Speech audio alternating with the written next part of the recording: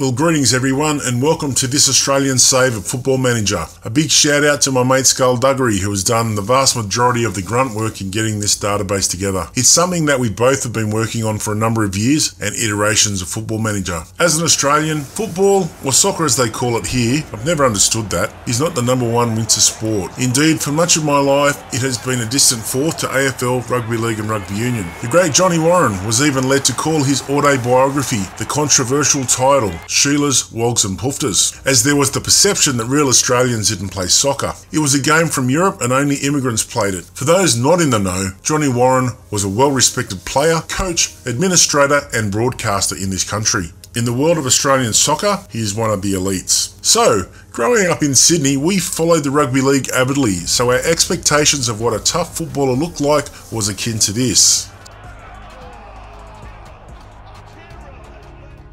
So when we'd see things like this, we would be pretty dismissive of the game and those that played it. That being said, we would still sit up and take notice when the World Cup and FA Cup came around. Mind you, we would call it the Far Cup, which is indicative of the profanity that many Australians myself included, partake in from time to time. The one redeeming thing about Australia with respect to football is that we are a sport loving nation. And as Australia started to gain some success by making World Cups, the attitude to the game in this nation started to change. The advent of the A League in 2004 started to bring the game further into the public consciousness, and while it still doesn't compete with the other winter codes, the popularity of the sport is growing. Nearly 1.5 million Australians are actively pursuing some form of soccer in their lives out of a population of 26 million, which is a 20% increase on the previous year. The recent success of the Women's World Cup that was hosted in Australia and New Zealand has further brought the game into the spotlight in this country. One of the things that I've always been fascinated by is the promotion relegation system of football around the world. We don't really have any sports that do this in Australia, but our goal with the database that has been put together here by Skullduggery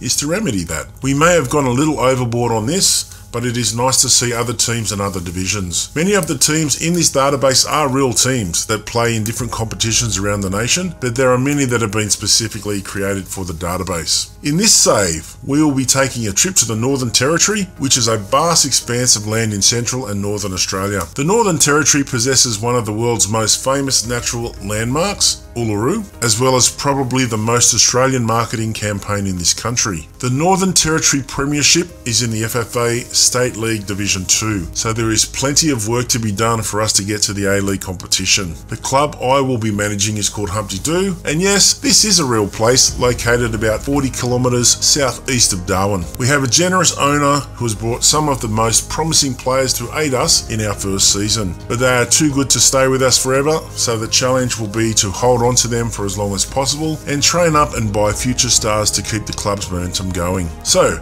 now it's time to watch this idiot try and play some football manager.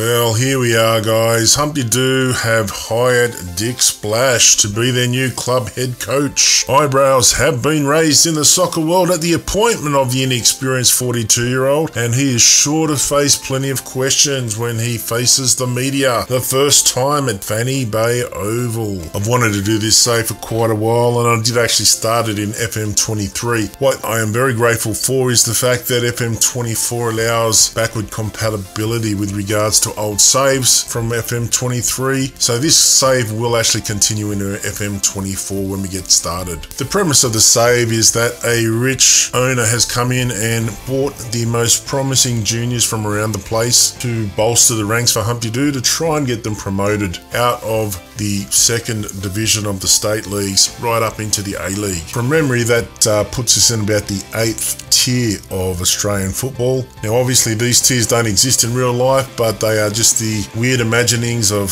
Skullduggery and myself. And uh, we've always wanted to do something like this, so let's get into it. As with the way norm- things normally go with me, the names you're going to see are probably familiar to you if you've watched any of the Marvel World saves. I know it's not to everyone's taste, but we'll go with it anyway. So we have a number of signings there. Uh, Leo Keating and Daniel Collins are provided for us. But a few of the other names, like Wet Farts, for instance, you might recognise Doug Fleaballs and Wayne Kerr have also been used. Harry Dixon Balls have been used, and of course Dick Splash. They've all appeared in the Marble World universe. So I'm sure you'll get to know plenty of these players. One thing you do need to know is that these players will not be with us forever. They are too good to be down this far in the competitions. There are 21 teams in the competition. We are expected to win this competition, which is not a real surprise when you see the lineup that we have. But you never know. There could be a few teams that throw up a surprise or two for us. Our early form in the friendlies has been very encouraging, winning games very comfortably and scoring a lot of goals in the process. So the first game we're going to look at today, a little bit later, is actually going to be the Australia Cup first round. Now this is a knockout competition that has all the teams from all over Australia in it, and we are going to be playing Murdoch University, who are in a division higher than us. So that will be a true test. And then after that, there is also going to be a Coca-Cola Central West Cup first round game that we'll also watch in this first episode. We don't know who we're playing yet, but we will soon find out. To bolster our goalkeeping ranks, we've actually just signed a young fella called Alexander Fisher to join us just to give us a little bit more depth in the keeping position. So the formation we're going with is a 4-2-3-1. We want to focus on attacking. We've got the players to do it and I reckon we can actually put a few goals past these guys in this first game that you're just about to watch. And Leo Keating is going to wear the armband today and lead the team out onto the field.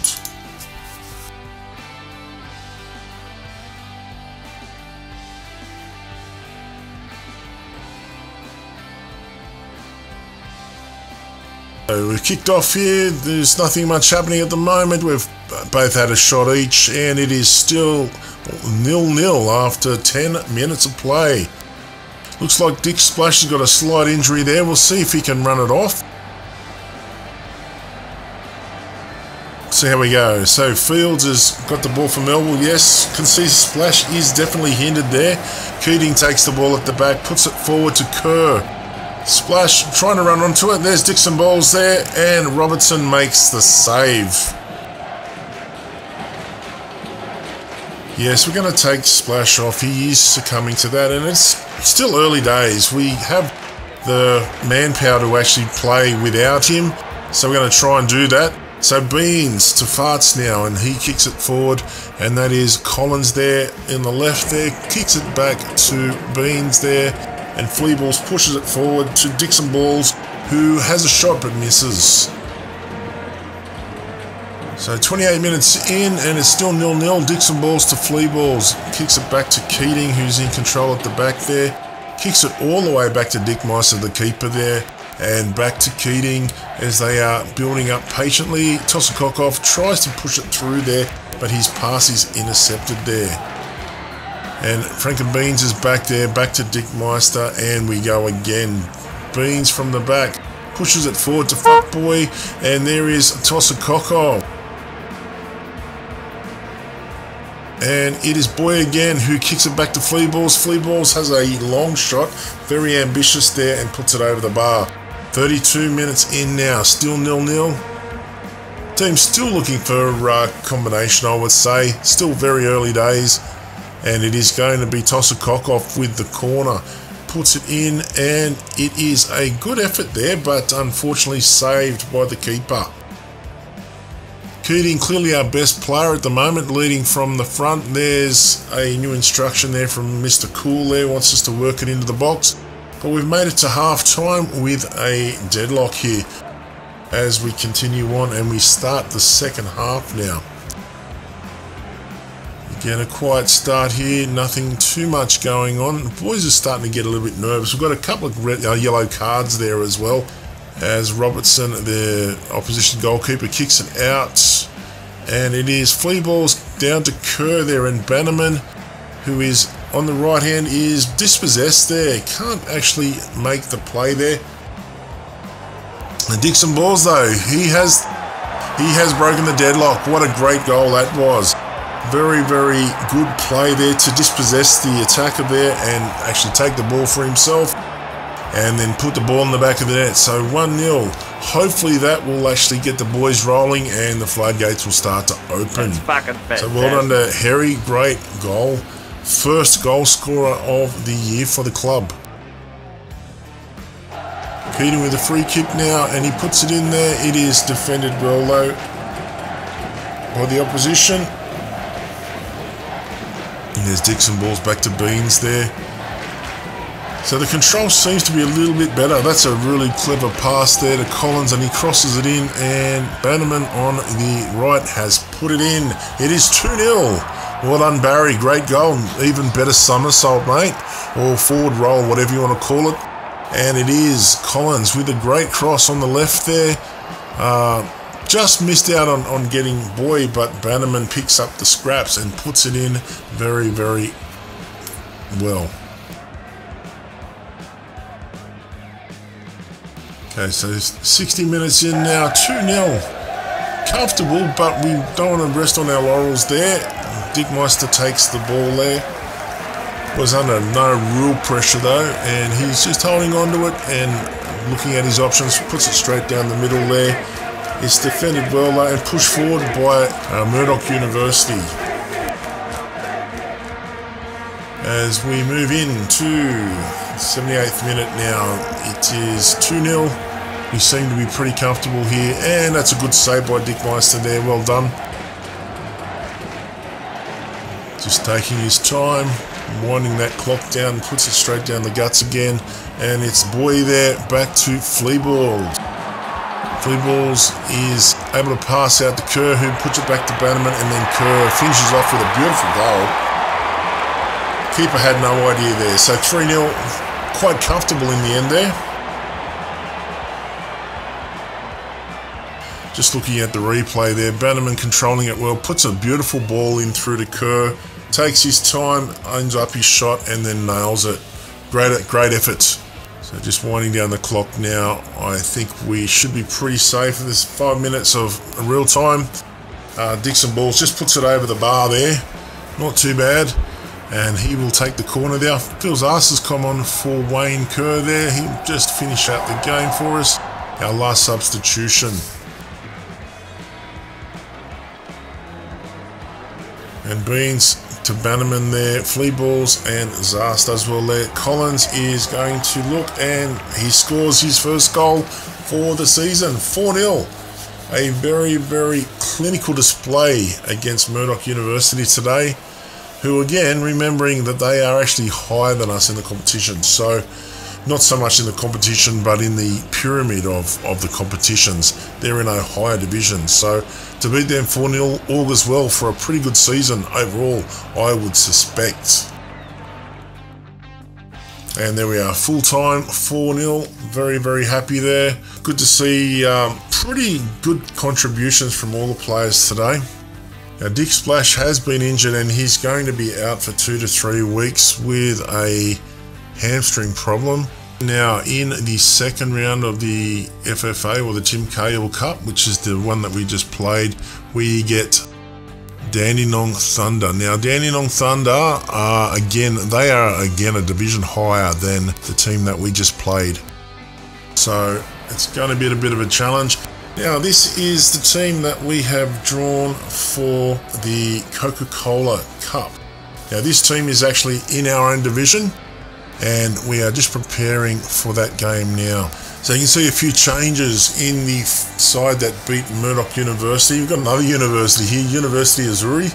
Now, this is a team that are in our competitions, so this again will give us an idea of what our competition will be like. You'll notice there are quite a few changes there. Nick Doff has come in for Dick Splash there. Phil Zas is starting as well on the left in instead of Collins, and you'll also notice that the Nigerian Prince email scammers in the team today. So it'll be interesting to see how they go. Levi Goldschmeckel as well, uh, taking Barry Bannerman's place all those players on the bench, though waiting for an opportunity.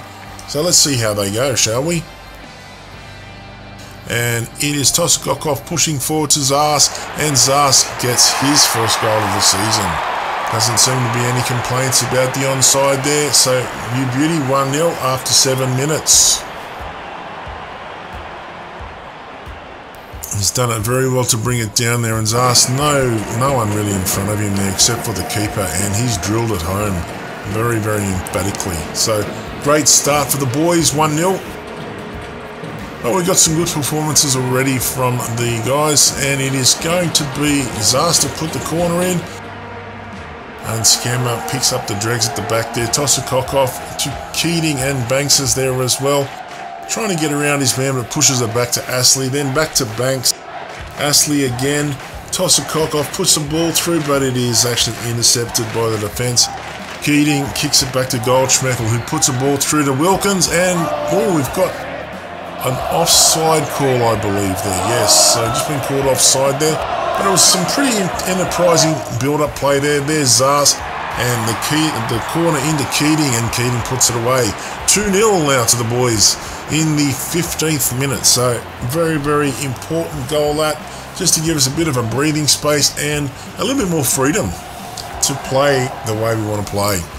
Okay, so the Nigerian Prince email scammer there, back to Astley there, toss a cock off, back to Zas, crosses it in, and Bill Wilkins gets above the keeper and puts the ball away. Very, very good goal there, 3-0 now. Boys are going on a spree here. I think this is going to be a comfortable win, and we are also expected to win this competition, this Coca-Cola uh, West competition it's a more regional competition and it doesn't have all the teams from the west, just the ones in the lower divisions. So we should be pretty good here. Now, even though we are Central Australia, really, or North Northern Australia, we are still classified in the western section of Australia. The eastern seaboard are you know, teams like New South Wales, Queensland, Tasmania, and Victoria, those sorts of divisions there. And then you've got South Australia, Northern Territory, and then Western Australia in the Western Conference there. So another goal there. Uh, very, very comfortable goal there. Nigerian Prince pretty well does it all himself, to be honest. And does it with ease, beats the keeper. The poor keeper had no real counter to that. So 4 0 after 20 minutes. 12 shots to nil as well. That's very emphatic. And we're not even through, we've only just gone halfway through the first half. So, to Wilkins again pushes it forward and it is defended well there. But Keating with the follow up there. Um, they've tried to turn defence into attack pretty quickly and they're doing quite well, as Azzurri. They've put it forward, but Keating is back there again and uh, kicks it back to Fisher, the keeper. And Tosakokov is going to push forward again, and he's dispossessed there. Um, Astley to Banks, and then Wilkins puts a beautiful ball through to Zas, and Zas scores goal number five. 5 0 after 32 minutes of play. The boys can put the cue in the rack, I think.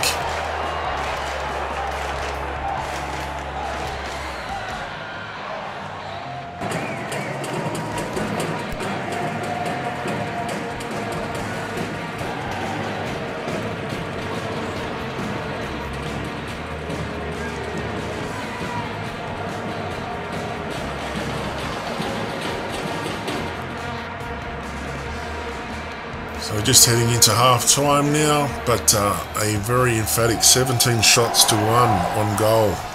Just crossing in just before half time. It looks like we've achieved a penalty as well, and Zas is going to step up to the mark and make it 6 0 just before half time.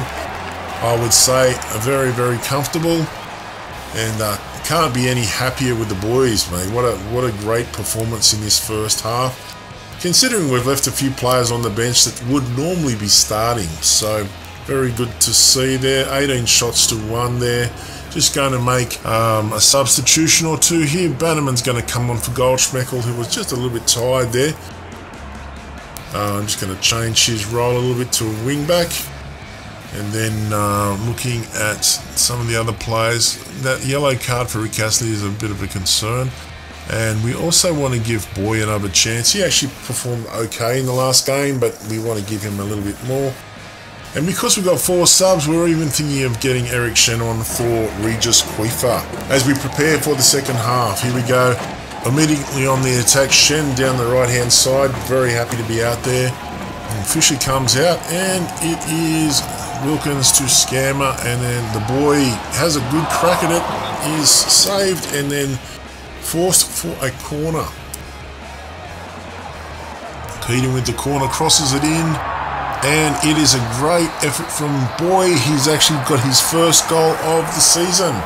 So we go to 7 0 now. Can we get to double figures? That is the question. A very good cross from the corner from Keating, and Boy does the honours for us. Great job. And Astley has a free kick, pushes it forward there, and Zas is there, holding onto the ball, holding it up for Tosakokov, who then puts it in, but the defence is there. And the defence is actually turning into attack here, although he's isolated there, and Astley is able to get the ball very easily. Banks back to Astley there, and then it is the defence kicking it back, and they're trying to go on attack quickly there, but we have plenty of cover there. And Zas puts it in for 8 0. 51 minutes into the game.